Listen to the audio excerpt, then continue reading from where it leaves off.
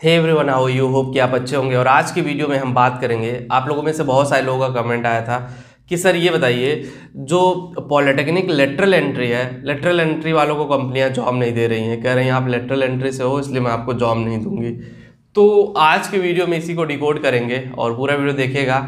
आपके जितने भी डाउट है ना गाइस पूरे क्लियर हो जाएँगे। किसी भी डाउट पे मतलब कोई कन्फ्यूज़न नहीं रह जाएगा। और पहली बार आप चैनल पे आए तो चैनल सब्सक्राइब कर लीजिए और बेल आइकन को प्रेस कर दीजिए। और अगर आपको कोई करियर कंसल्टिंग सर्विसेज़ चाहिए करियर में किस तरह आगे बढ़े करियर को किस तरह से आगे लेके जाए तो डायरेक्टली मेरे से बात कर सकते हो। लिंक डिस्क्रिप्शन में दिया गया है।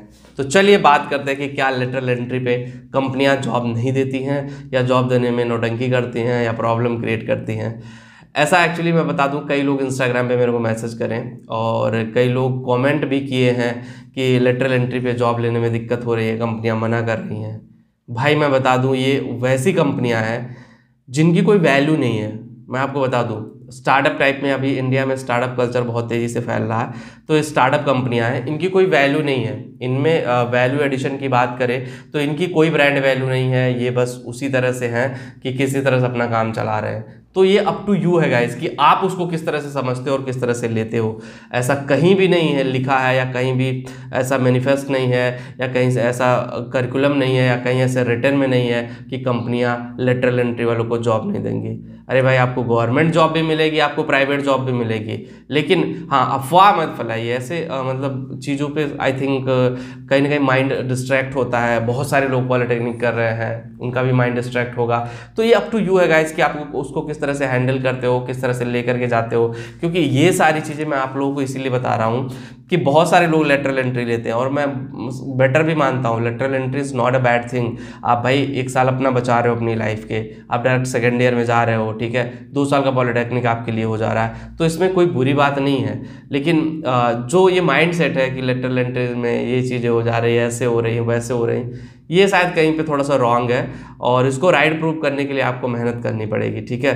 देखो अगर आप लेटरल एंट्री से हो या नॉर्मल एंट्री से हो, कैसे भी पॉलिटेक्निक कर रहे हो, सही से करो, अच्छे से करो नॉलेज लेते हुए करोगे तो आपको जॉब बहुत अच्छे से मिलेगी। नहीं करोगे तो कोई जॉब देने वाला नहीं है। मैं आपको क्लियर कट में बोल रहा हूँ, अभी मार्केट बहुत ही क्लटर्ड हो चुकी है मार्केट में बहुत क्राउड है उस क्राउड में से निकल करके आप अपने आप को स्टैंड कैसे करते हो कि क्राउड में से निकल करके आप अपने आप को एक अच्छी जगह पे स्टेबल करते हो। It's up to you guys ये मैं प्राइवेट इंडस्ट्री और गवर्नमेंट इंडस्ट्री दोनों की बात कर रहा हूँ। ऐसा नहीं कि सिर्फ़ मैं प्राइवेट इंडस्ट्री की बात कर रहा हूँ। सरकारी नौकरियों में भी ये प्रॉब्लम है। ऐसा नहीं है कि सरकारी नौकरियों में फिर बल्ले बल्ले हैं कि नहीं हो जाएगा।